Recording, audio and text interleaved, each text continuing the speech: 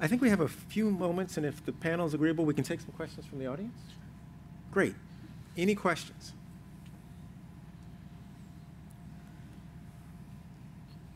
Oh, this is so disappointing. You're killing the faculty member We've that I used uh, to some, be. we- we- we got some folks here from the Coast Guard Recruiting Command if anybody's looking to sign up today. Okay, we have a question here, sir. Early. Can you hear me? Yes. Okay. So the discussion early on, I believe Dr. Walston may have brought it up regarding the whole aspect of we have a, a great deal of people going into the workforce, right? With with uh, underrepresentation, particularly I say early career. The challenge now is that pull through you kind of talked about. What can we do to help that pull through of getting you know broader representation across the more senior ranks or mid career to senior ranks going forward?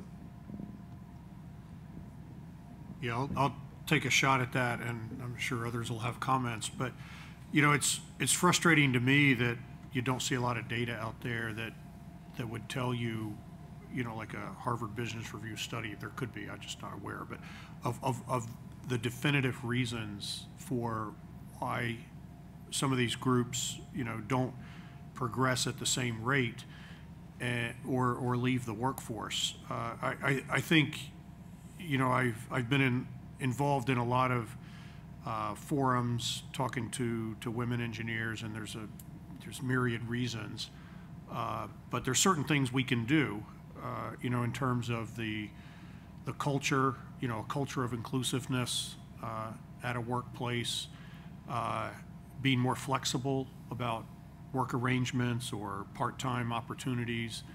Uh, and so I, I, I think there are some things, certainly mentorship plays a big role in that. Uh, people want to see people above them that look like them, and, and, all, and, and I think it's the responsibility of, of, of those to, to kind of help pull. Uh, and, uh, and, and so there's a lot that we can do, uh, and we just need to, to do more because the numbers, you know, whether it's advancement in, you know, up through management and executive ranks, up through technical ranks, it's pretty consistent that there's a fall off across the board. Any other questions? This question over here. Hi, good afternoon. Uh, Yo, oh, you- thank you. Good afternoon. Uh, I'm Colonel Steve Hasstedt. I'm the head of the biology department at the U.S. Air Force Academy. And uh, my question is particularly uh, relates to the resourcing at the, the college and university level for as we're as we're targeting and trying deliberately to bring in more diverse representation from students that don't have those high SAT scores, that don't have that access through their high school programs. Um, I've, I've been very excited at the Academy that we are now shifting some of our focus through some graduates and endowments away from the honors program towards more of the Academic Success Center to robust our our infrastructure to help those students that don't come in with those high test scores, high SATs, whatever. I'm just I'm just curious, uh, sir, particularly at the Rensselaer level. What what are you doing? As you, you mentioned that you're you've moved away from the the calc, the chemistry, some of those prerequisites. Well, I'm I'm curious as to the level of resourcing that you have at, at your university to help you know bring those students into the fold so that we can then retain and and, and continue to develop them. Thank well, you. Well, there's a number of uh, programs that, that we rely on heavily. So, so we do uh, bridge programming uh, early on, early access uh, programs for students. One of the things we started this year, uh, the pandemic has really taken a toll on our, our, our students from the standpoint of they're not quite as prepared as previous years, especially in the calculus, uh, physics, uh, calculus-based physics. So this summer we actually ran a trial with our students using uh, the ALEKS programming uh, offered by McGraw-Hill, and we offered it to uh, a select number of our freshman students for free that we identified that we said may have some issues.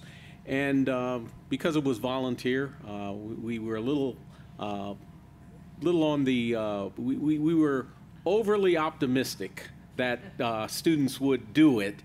Uh, so we, we offered it to about 600 and about 300 did it. So we got a 50% hit rate. and, and the beauty of it was that it was self-paced AI driven, so uh, no faculty involved, all AI driven, and uh, the students completed it, you know, like I said, at their own pace. And our goal is to really look at how did it affect their fall freshman uh, classes. And so this this spring we'll be doing the analysis to determine. But institutions are going to have to do a better job uh, of preparing the students. Uh, one of the things I'll say is, you know, uh, uh, I was the dean of engineering at California State University, Los Angeles, for many years, and before student success was even popular, we put in programming in 2007, 2008, and uh, the program's still going now. And you know, we've had they had they've had success rates uh, that are probably I, I can't think of anyone who's been able to meet the same success rates. And what I mean by that is freshman, freshman to freshman, when I got there, we were at 60% retention. Uh, they were 60% of them coming back uh, from fall to fall. When I left in 2013, my last class, we were at 92% of them returning. And it was because of the programming that we put in place, uh, both summer bridge programming and year-round programming to help them with their early on coursework. That's really exciting about the, uh, you actually have a perfect test case there. You invited 600, 300 applied, and so now you can look at, you know who you invited, you can see the test population and the. Yep, yep. That's great. That's Yep. fantastic. You know, the only thing I would add to that is, um, I think it's really important that you look at all these different programs that we're, we're going to do. I mean, I think what we learned over COVID, um, is it was hard on everyone, but we also learned how to deliver things differently, because we had no choice. Uh, if, if you look at some of the schools that are, um, a lot of two, two programs, a lot of three, two programs that are trying to help with those first couple years where you can have much smaller classes, much more intense focus on the science and math so that, that kids can be successful. Um, I think it's very frustrating um, that you can't bridge that gap. And, uh, you know, we have to get out of this. I mean, when I went to school, and actually when my two sons that are engineers went to school, we were still saying, you know, the professor would say, look to your left, look to the right, only one of you is going to be left in four years. We have to stop doing that. It's a yes and and a not a no but. Um, because we simply do not have enough people. And so we have to get better at this. I mean, our ability to, to support a modern economy with the infrastructure depends on that. There's a question here. I guess along those lines, you know, having worked in manufacturing, we see a huge shortage in the trades and people going into the trades with a lot of the younger generations starting to pursue um, more degreed professions. And then you also mentioned earlier that 70% of women who go into engineering end up leaving. I mean, do we have a firm understanding on the data of where these people are going to and so that we can do more focused targets of redirecting in the STEM? Um, SWE's been doing, I mean, SWE's different than the other affinity groups because NSF has been funding them to be doing deep research into this since the 90s. Um, and so they look at it. Um, I, I think it's not where they're going to, it's where they're running from. Because 80% of that 70% say they can't stand the workplace culture. And I can tell you, you know, my 30 year olds, the boys feel the same way. All right. We need work work life balance. We need to value what they do as other professions value better than we do in a lot of cases. And so um, I think those changes are coming because we have this shortage. So we're seeing that. Um, but it's in a lot of cases, it's the culture. It's the, you know, the commoditization of what we're doing. It's it's about, you know, the race to the bottom instead of the race to the top. And so, as you're looking at how we're moving forward, we are looking at that doesn't work. You need to have innovation. You need to have all this input.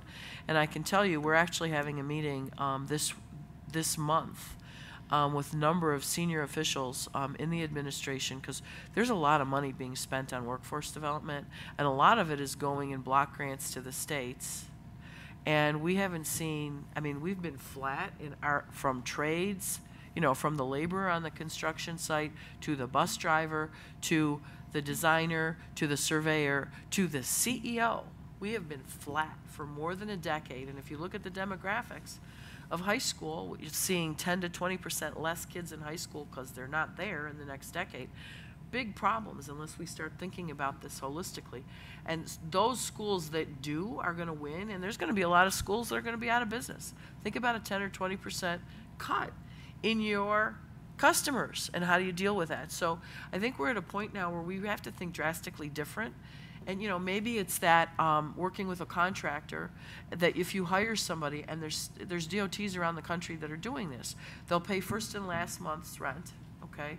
They'll get transportation for these individuals. They will put them into a skilled trade program. When you graduate from that they're willing to then invest in a two-year degree if that's what you want to do, and then after that, invest in a four-year degree so we can build them from the ground up, as opposed to just saying, well, you can either go this way or this way. Um, we have to have flexibility, and we have to have room for technologists, technicians, administrators, um, and engineers. And it's okay that you don't have to be, it's not all or nothing.